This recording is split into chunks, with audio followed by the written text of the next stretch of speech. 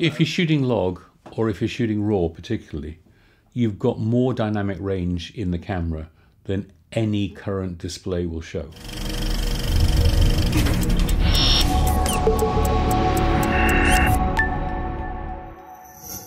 Aliasing and moire. So you've got these holes, so you get staircases. You get aliasing. So what do you do? You put an optical low pass filter in to take the edge off it. Sorry, you get these really sharp cameras and you diffuse the hell out of them because that's all an OLPF is doing. Now there's one manufacturer that doesn't use one. And if you test the cameras, they always come out badly with aliasing. A recent HBO test showed a guy in a herringbone suit went berserk. But I've been shooting with one for three months now, testing. And under any circumstance I shoot, rather than other than square onto a brick wall, I've never had a problem. I can cause a problem if I want. I was talking to them about it the other day. They said, well, you know, tell me something that will go badly wrong. I went, oh, it's easy. Garden furniture, the stuff with the holes drilled in it. If I want to make the camera alias, I just point it at that and it'll go ape shit. But, you know, how often do you do that? If you use it on normal scenes, not really a problem. Then again, I diffuse the camera all the time. So, you know, I yeah. go for soft images. Better maths, basically. Better low pass filters, optimized low pass filter, and better maths. That's it. Hmm. But of course, that's one of the things that in because if you're shooting raw, the processing in a software is better than you'll get in camera because you can apply much heavier processing to it. The issue we have in motion pictures, as opposed to stills, in stills, you can choose the way something is debayered. You can choose to optimize it for different subjects.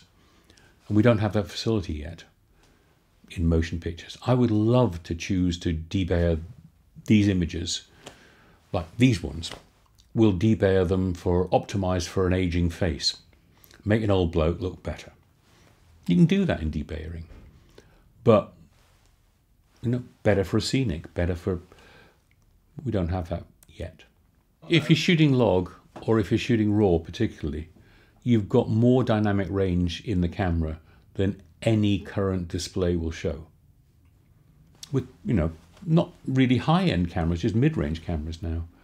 And so all you need to do is stop panicking, um, get the exposure roughly in the middle, and you can deal with it in post later.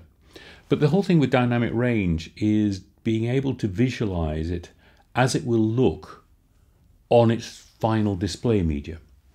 So if you're going to display it on something that's only got a five stop dynamic range, you have to bear that in mind when you're shooting it. Yes, you can control it to a degree with power windows, but you need to control your lighting to handle that, which is why I find it really important to put a lookup table in the monitors on set when we're shooting.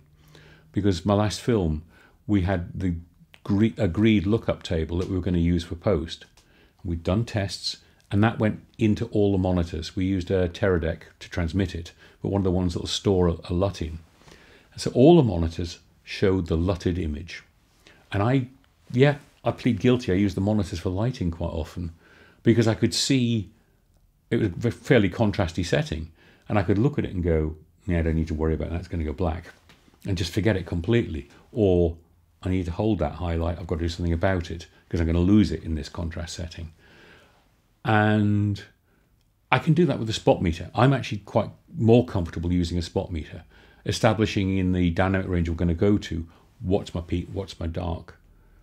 Right, that's it. I've got to work. And I use the Ansel Adams zone system where mid grey is five, Caucasian skin tone, that side of my face, the lit side is six, this lighting, that side's probably three and a half.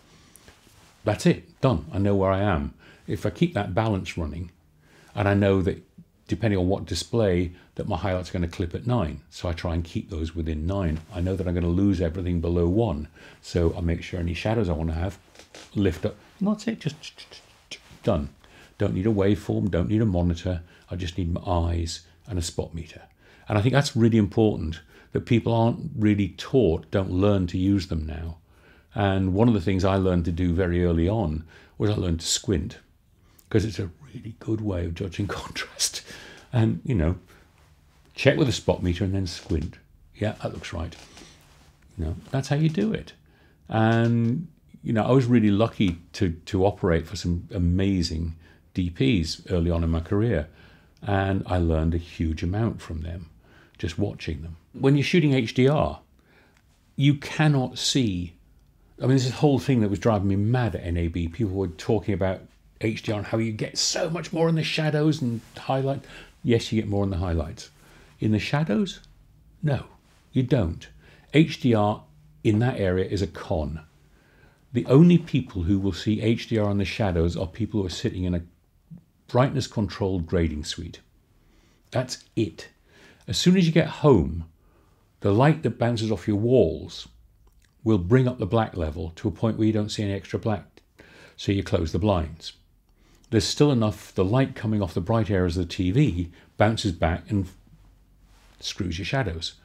Right, I'll have a black wall. Still doesn't help. Face.